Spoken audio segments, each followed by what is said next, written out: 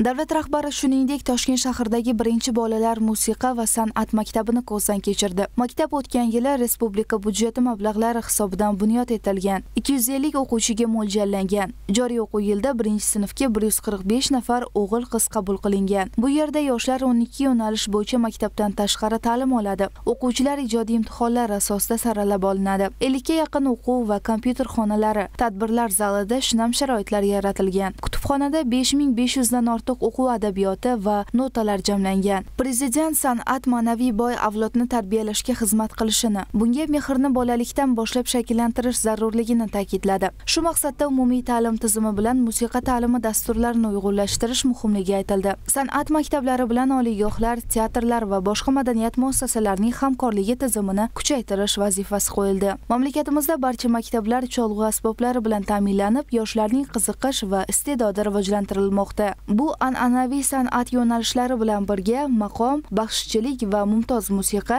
qadriyatlarimizni davom ettirishga xizmat qiladi.